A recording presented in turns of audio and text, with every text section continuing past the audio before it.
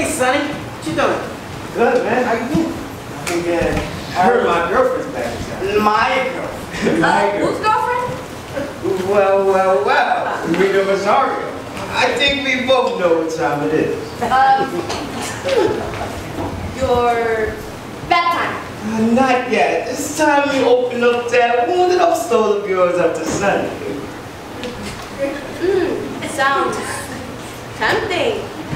Slush.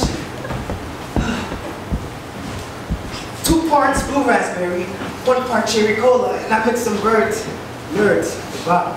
Yo, Domingo, it's all you. Uh, can I get a rain check? But yo, Sonny! One day you two will need my sympathy. And will I be there? Probably. Is this stuff taken? So, did you learn some new curse words? Well, you know, I tried, but it's like learning two different languages. Dominican Spanish, Puerto Rican Spanish. Tell me about it. They spoke a different kind of English at Stanford. Really? Weekend. Verb. To go skiing on your cabin at Lake Tahoe. Cabin. Now. A blase word for mansion. Uh, you need to teach them some local vocabulary. Oh, I did. Every day in the cafeteria, I was like, oh yeah, you need some fries with that? so not speaking the language.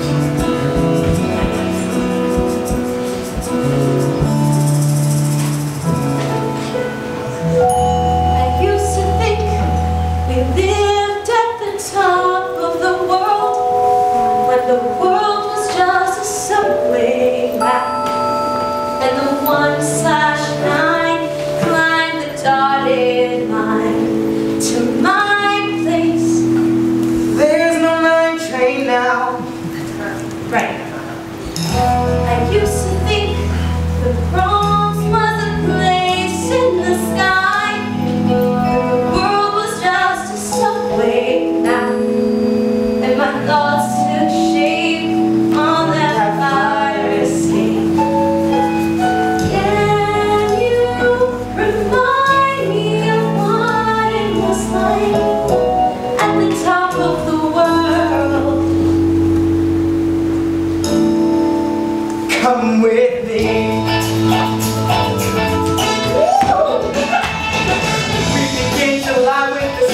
In corner by a hydrant. You would open it every summer.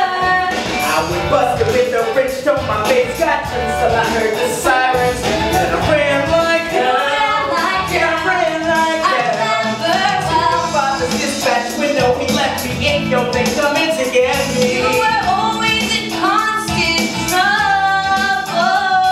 They get down when I go snide, but he let me hide